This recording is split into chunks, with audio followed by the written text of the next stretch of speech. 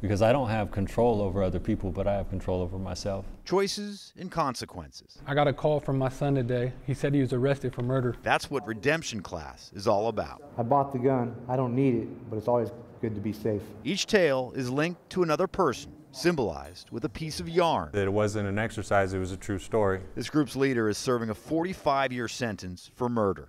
Sometimes the people that were hurt the most were the people that loved us the most. But that's not what makes this therapy session special. Well, yeah. yeah that's about as far as you get. The men taking part This is a positive environment for me. are chained to their chairs. I'm thankful for this class because it humanized me. Like four years ago, the state launched a pilot program at the penitentiary in Walla Walla. Those isolated in maximum security were placed in a room face to face in what were known as programming security chairs. I'm in a, a book club. I've never been in a book club. I never would have been in a book club if it wasn't for these chairs. Today, inmates at every state prison with a maximum security unit take part in these secured group therapy sessions.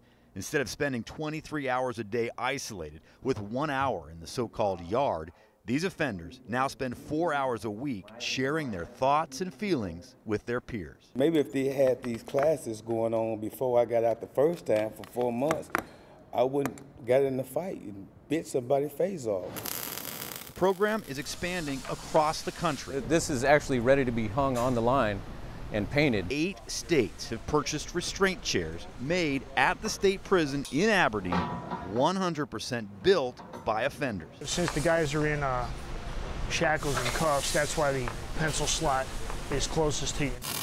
I enjoy being a, a, a part of the bigger picture. I want to thank you guys. It's never really been easy to share my life story with you, but there's truth in it. All of these men will eventually be released. Who would you want to get out to your community? The offenders and the State Department of Corrections say the more opportunities inmates are given to grow and learn together, they're less likely to return. I get to interact with humans, people that act like humans, instead of being behind the cage like a bunch of dogs barking at each other every day.